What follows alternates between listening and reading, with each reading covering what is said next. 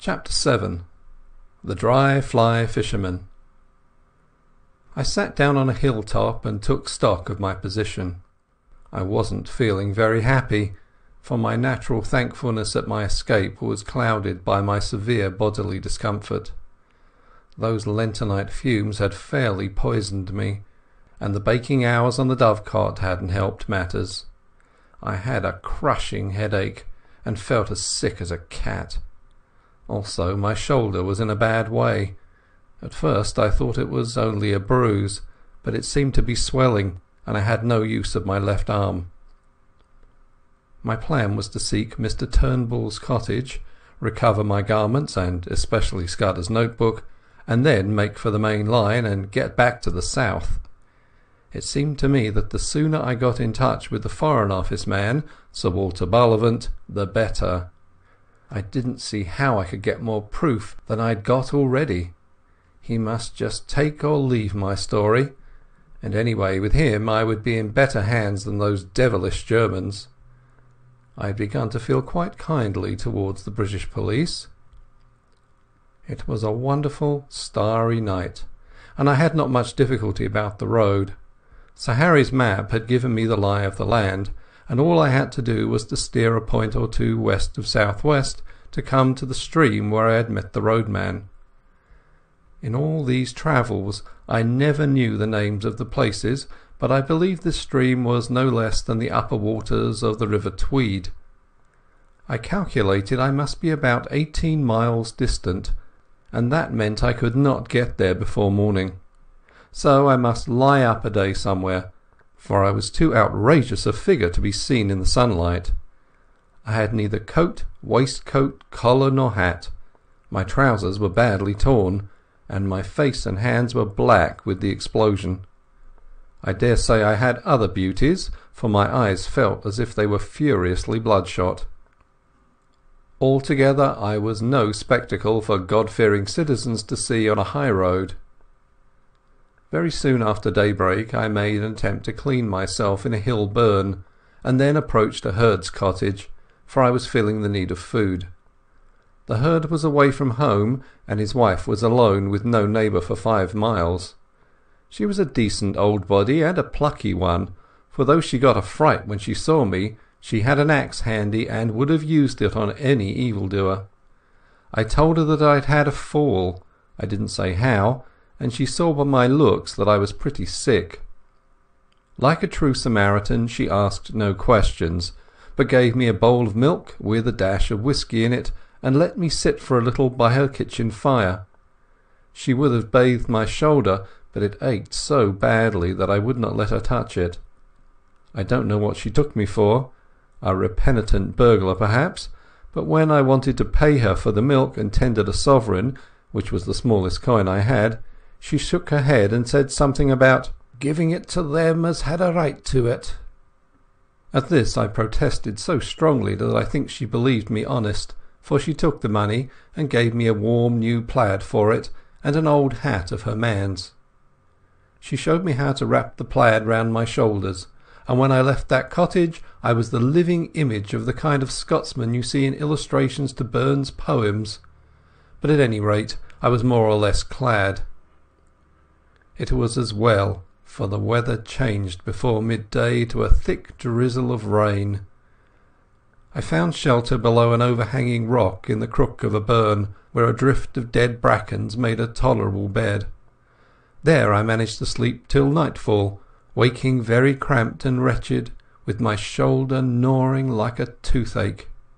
I ate the oat cake and cheese the old wife had given me, and set out again just before the darkening. I pass over the miseries of that night among the wet hills. There were no stars to steer by, and I had to do the best I could from my memory of the map. Twice I lost my way, and I had some nasty falls into the peat bogs. I had only about ten miles to go as the crow flies, but my mistakes made it nearer twenty. The last bit was completed with set teeth and a very light and dizzy head but I managed it, and in the early dawn I was knocking at Mr Turnbull's door. The mist lay close and thick, and from the cottage I could not see the high road. Mr Turnbull himself opened to me, sober and something more than sober. He was primly dressed in an ancient but well tended suit of black. He had been shaved and not later than the night before. He wore a linen collar, and in his left hand he carried a pocket Bible. At first he did not recognize me.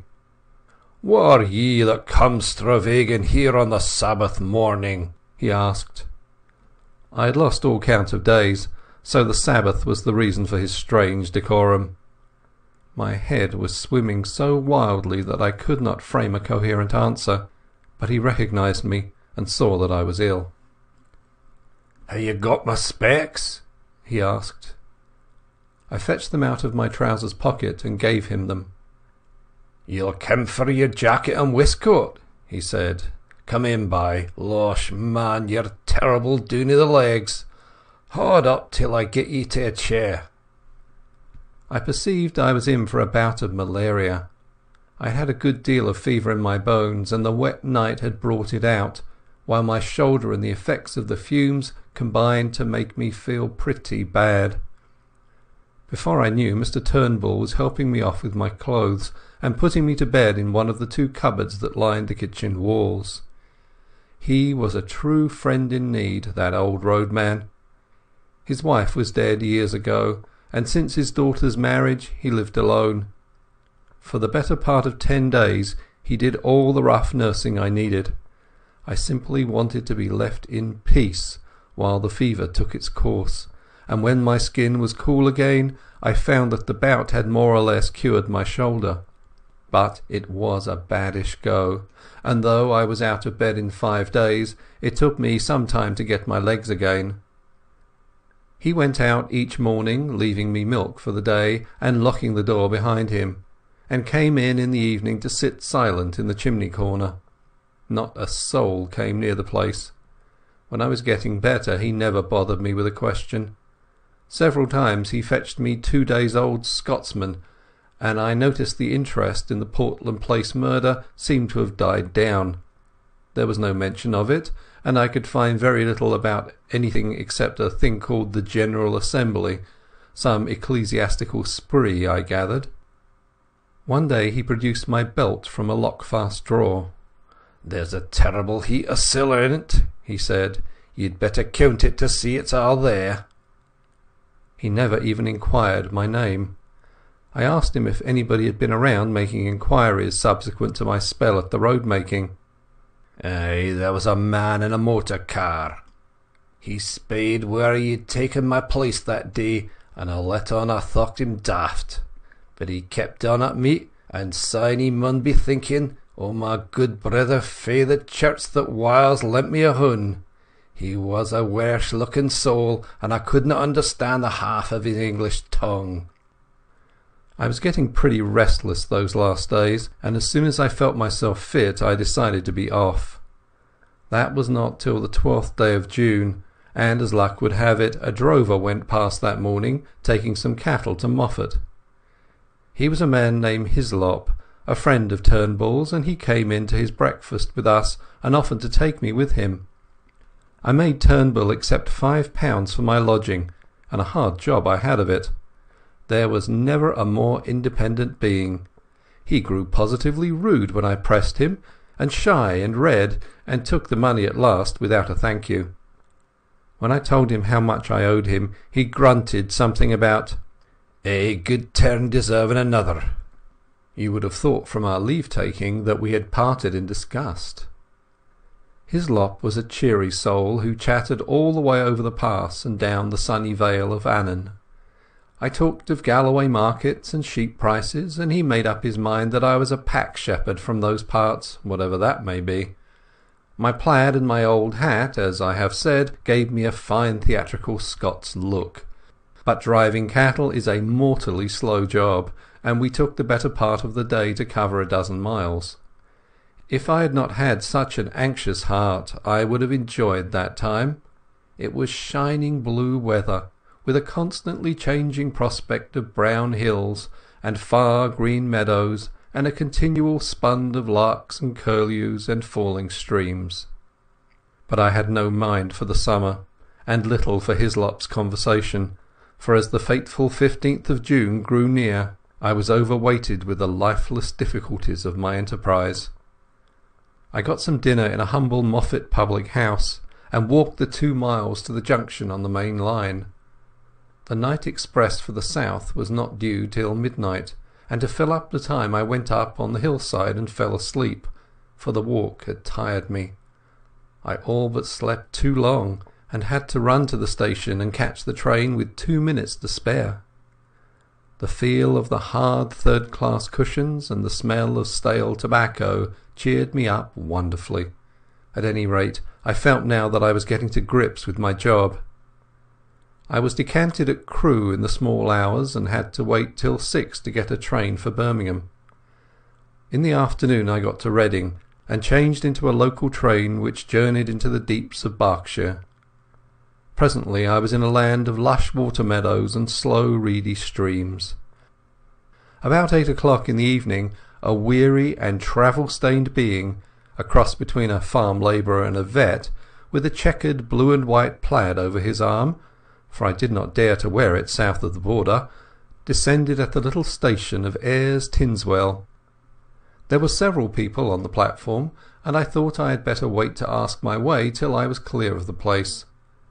The road led through a wood of great beeches, and then into a shallow valley with the green backs of downs peeping over the distant trees.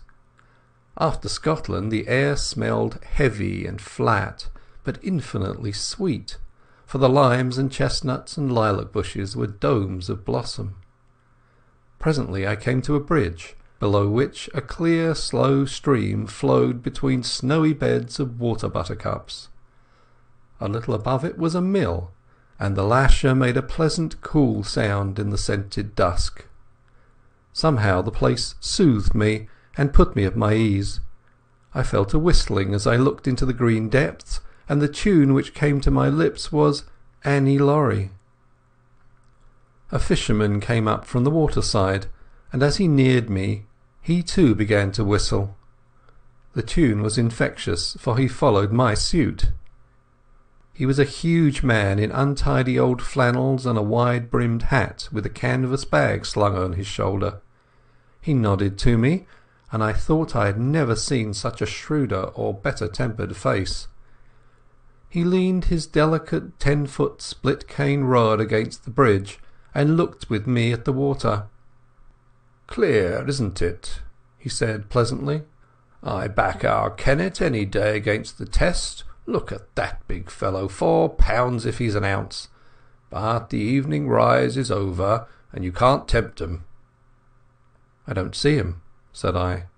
"Look there, a yard from the reeds, just above that sickle." "I've got him now. You might swear he was a black stone." "So," he said, and whistled another bar of Annie Laurie. "Twisden's the name, isn't it?" he said over his shoulder his eyes still fixed on the stream. "No," I said. "I mean to say yes." I had forgotten all about my alias. "It's a wise conspirator that knows his own name," he observed, grinning broadly at a moorhen that emerged from the bridge's shadow. I stood up and looked at him, at his square jaw and broad lined brow and the firm folds of cheek, and began to think that here at last was an ally worth having. His whimsical blue eyes seemed to go very deep. Suddenly he frowned. "I call it disgraceful," he said, raising his voice. "Disgraceful that an able-bodied man like you should dare to beg. You can get a meal from my kitchen, but you'll get no money from me." A dog-cart was passing, driven by a young man who raised his whip to salute the fisherman. When he had gone he picked up his rod. "That's my house," he said, pointing to a white gate a hundred yards on. "Wait five minutes and then go round to the back door." And with that he left me. I did as I was bidden. I found a pretty cottage with a lawn running down to the stream, and a perfect jungle of guelder rose and lilac flanking the path. The back door stood open, and a grave butler was awaiting me. "Come this way, sir," he said, and he led me along a passage and up a back staircase to a pleasant bedroom looking towards the river. There I found a complete outfit laid out for me, dress clothes with all the fixings, a brown flannel suit, shirts, collars, ties, shaving things and hair brushes, even a pair of patent shoes. "Sir Walter thought as how Mr Reggie's things would fit you, sir," said the butler. He keeps some clothes here, for he comes regular on the week ends. There's a bathroom next door, and I've prepared a hot bath. Dinner in half an hour, sir. You'll hear the gong." The grave being withdrew, and I sat down in a chintz covered easy chair and gaped. It was like a pantomime to come suddenly out of beggardom into this orderly comfort. Obviously Sir Walter believed in me, though why he did I could not guess. I looked at myself in the mirror and saw a wild, haggard, brown fellow with a fortnight's ragged beard and dust in ears and eyes, collarless, vulgarly shirted, with shapeless old tweed clothes and boots that had not been cleaned for the better part of a month. I made a fine tramp and a fair drover, and here I was ushered by a prim butler into this temple of gracious ease. And the best of it was that they did not even know my name. I resolved not to puzzle my head, but to take the gifts the gods had provided. I shaved and bathed luxuriously, and got into the dress clothes and clean crackling shirt, which fitted me not so badly. By the time I had finished the looking-glass showed a not unpersonable young man. Sir Walter awaited me in a dusky dining-room, where a little round table was lit with silver candles. The sight of him, so respectable and established and secure, the embodiment of law and government and all the conventions, took me aback and made me feel an interloper. He couldn't know the truth about me, or he wouldn't treat me like this. I simply could not accept his hospitality on false pretences. "I'm more obliged to you than I can say, but I'm bound to make things clear," I said. "I'm an innocent man, but I'm wanted by the police. I've got to tell you this, and I won't be surprised if you kick me out." He smiled. "That's all right. Don't let that interfere with your appetite. We can talk about these things after dinner. I never ate a meal with greater relish, for I had had nothing all day but railway sandwiches. Sir Walter did me proud, for we drank a good champagne and had some uncommon fine port afterwards. It made me almost hysterical to be sitting there, waited on by a footman and a sleek butler, and remember that I had been living for three weeks like a brigand, with every man's hand against me. I told Sir Walter about tiger fish in the Zambesi that bite off your fingers if you give them a chance, and we discussed sport up and down the globe, for he had hunted a bit in his day. We went to his study for coffee, a jolly room full of books and trophies and untidiness and comfort. I made up my mind that if I ever got rid of this business and had a house of my own, I would create just such a room. Then, when the coffee cups were cleared away and we got our cigars alight, my host swung his long legs over the side of his chair and bade me get started with my yarn. "I've obeyed Harry's instructions," he said, "and the bribe he offered me was that you would tell me something to wake me up. I'm ready, Mr Hannay." I noticed with a start that he called me by my proper name. I began at the very beginning. I told of my boredom in London, and the night I had come back to find Scudder gibbering on my doorstep. I told him all Scudder had told me about Karolides and the Foreign Office Conference, and that made him purse his lips and grin. Then I got to the murder, and he grew solemn again. He heard all about the milkman and my time in Galloway and my deciphering Scudder's notes at the inn. "You've got them here?" he asked sharply, and drew a long breath when I whipped the little book from my pocket. I said nothing of the contents. Then I described my meeting with Sir Harry, and the speeches at the Hall. At that he laughed uproariously. Harry talked dash nonsense, did he? I quite believe it. He's as good a chap as ever breathed, but his idiot of an uncle has stuffed his head with maggots. Go on, Mr Hannay." My day as roadman excited him a bit. He made me describe the two fellows in the car very closely, and seemed to be raking back in his memory. He grew merry again when he heard of the fate of that ass Jopley, but the old man in the moorland house solemnized him again. Again I had to describe every detail of his appearance. Bland and bald headed, and hooded his eyes like a bird. He sounds a sinister wildfowl, and you dynamited his hermitage after he had saved you from the police. Spirited piece of work that. Presently I reached the end of my wanderings. He got up slowly and looked down at me from the hearthrug. You may dismiss the police from your mind, he said. You're in no danger from the law of this land. Great Scott! I cried. Have they got the murderer? No, but for the last fortnight they have dropped you from the list of possibilities. Why? I asked in amazement. Principally because I received a letter from Scudder. I knew something of the man, and he did several jobs for me. He was half crank, half genius, but he was wholly honest. The trouble about him was his partiality for playing a lone hand. That made him pretty well useless in any secret service. A pity, for he had uncommon gifts. I think he was the bravest man in the world, for he was always shivering with fright, and yet nothing would choke him off. I had a letter from him on the 31st of May.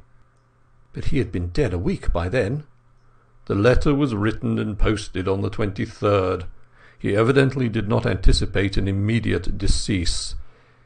His communications usually took a week to reach me, for they were sent under cover to Spain and then to Newcastle. He had a mania, you know, for concealing his tracks. What did he say? I stammered. Nothing merely that he was in danger but had found shelter with a good friend, and that I would hear from you before the 15th of June. He gave me no address, but said he was living near Portland Place. I think his object was to clear you if anything happened. When I got it I went to Scotland Yard, went over the details of the inquest, and concluded that you were the friend. We made inquiries about you, Mr Hannay, and found you were respectable. I thought I knew the motives for your disappearance. Not only the police, the other one too, and when I got Harry's scrawl I guessed at the rest. I've been expecting you any time this past week. You can imagine what a load this took off my mind. I felt a free man once more, for I was now up against my country's enemies only, and not my country's law. "Now let's have the little notebook," said Sir Walter. It took us a good hour to work through it. I explained the cipher, and he was jolly quick at picking it up. He amended my reading of it on several points, but I think I had been fairly correct on the whole. His face was very grave before he had finished, and he sat silent for a while. "I don't know what to make of it," he said at last. "He's right about one thing what is going to happen the day after tomorrow. How the devil can it have got known? That is ugly enough in itself, but all this about war and the Black Stone, it reads like some wild melodrama. If only I had more confidence in Scudder's judgment. The trouble about him was that he was too romantic. He had the artistic temperament and wanted a story to be better than God meant it to be. He had a lot of odd biases too. Jews, for example, made him see red. Jews and the high finance. The Black Stone, he repeated. Der Schwarze Stein. It's like a penny novelette. And all this stuff about Karolides. That is the weak part of the tale, for I happen to know that the virtuous Karolides is likely to outlast us both. There is no state in Europe that wants him gone. Besides, he has just been playing up to Berlin and Vienna, and giving my chief some uneasy moments. No, Scudder has gone off the track there. Frankly, Hannay, I don't believe that part of his story. There's some nasty business afoot, and he found out too much and lost his life over it. But I'm ready to take my oath that it is ordinary spy work. A certain great European power makes a hobby of her spy system, and her methods are not too particular. Since she pays by piecework, her blackguards are not likely to stick at a murder or two. They want our naval dispositions for their collection at the Marineamt, but they will be pigeon-holed, nothing more." Just then the butler entered the room. "There's a trunk call from London, Sir Walter. It's Mr Heath, and he wants to speak to you personally." My host went off to the telephone. He returned in five minutes with a whitish face.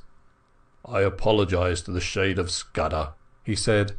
Karolides was shot dead this evening at a few minutes after seven. End of chapter 7